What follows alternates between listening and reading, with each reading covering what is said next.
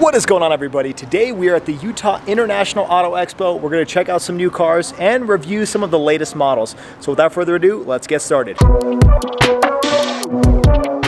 Okay, here we have the all-electric, brand new Subaru Solterra. So this vehicle shares its platform with the Toyota BZ4X. It's pretty much the exact same platform. They actually co-developed the vehicle because, um, you know, I believe Toyota owns a portion of Subaru. So to share the cost, they developed them together. Now there are three different trim levels for the Solterra. There's the Premium, which starts at $44,995. Then there's the Limited, and then there's the Touring, which tops out at $51,995. So so a lot of different selections there depending on what you want. Personally, I would pick either the limited or the touring because the base premium does lack a few features that some of the competition offer. Now, for those of you curious about range, this vehicle comes with a 72.8 kilowatt battery and it provides about 222 to 228 miles depending on what trim you get. So um, pretty close numbers, so you're not really sacrificing much if you choose some of the higher trims, but the very base premium trim will get you 228 miles of range, which isn't the best among the competition um, but it's not bad considering the price point is on the lower end for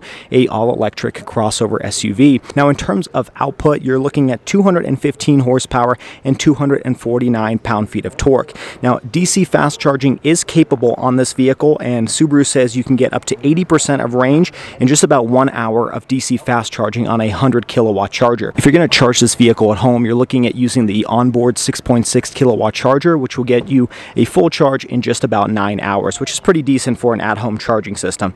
Now, Subaru prides itself in its all-wheel drive vehicles, and so this is no exception. You do have a dual motor setup with symmetrical all-wheel drive on the Subaru Solterra, which not all of the other competitors offer that as a standard. So you cannot get any other powertrain option aside from an all-wheel drive system, which is pretty nice for a starting price of $44,995. Now, Subaru also prides itself in its off-road capabilities. This does come with 8.3 inches of ground clearance standard from the factory. Now let's jump inside and talk about the interior. Starting off with the door panel, this is all soft touch material. It's a rubberized material, but it's not hard touch plastic here. Got a little bit of contrast in terms of leather colors, and then these are just your window switches over here, nothing too crazy. Jumping inside, you do have some cool looking leather seats. They're blue leather seats with some gray leather as well with perforation. Now you do get heated front seats as standard on this vehicle. Now let's jump inside and show you what the interior gauge cluster looks like. So you do have a standard 7 inch all digital gauge cluster display, and then you have two options for the center display over here. You can either get a 8-inch display, which does come with wireless Apple CarPlay and wireless Android Auto,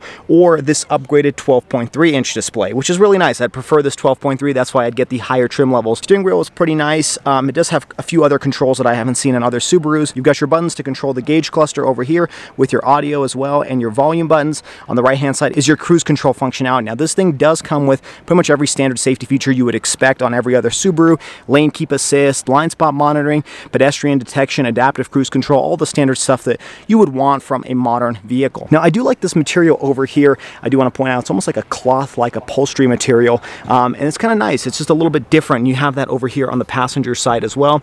This center arm console, you do have your gear selector over here, which is a little bit odd. It almost looks like a controller for your center infotainment, but it's not. And then opening this little console up opens up your wireless charger. Now, this is kind of a see-through glass, so that's kind of a unique use of materials. You have two cup holders over here and then you can slide this little armrest forward and back to cover this section up if necessary. Now up above you do have a panoramic sunroof which is not standard on the premium version but you can get option on the higher trim levels. Now jumping into the second row um, these are pretty comfortable and you do have quite a bit of legroom. Uh, Subaru actually says you got 35.3 inches of legroom and I can believe it. There's actually not really a need for any more space back here. It's pretty large which is one of the benefits of having an electric vehicle. You do have two air vents over here, heated seats in the back and you have two USB USB ports. The door panel looks exactly the same as the front seats. And I briefly want to talk about the speaker system. So standard Solterra gets six speakers, but you can get up to 11 if you get the more premium versions. Now for the rear, you get 23.8 cubic feet of cargo volume, and again, it looks pretty massive. I mean, it's not very tall, so you wouldn't really be able to fit a tall object in here, but it is pretty deep, and you have a little bit more of that upgraded Harman Kardon speaker system back here.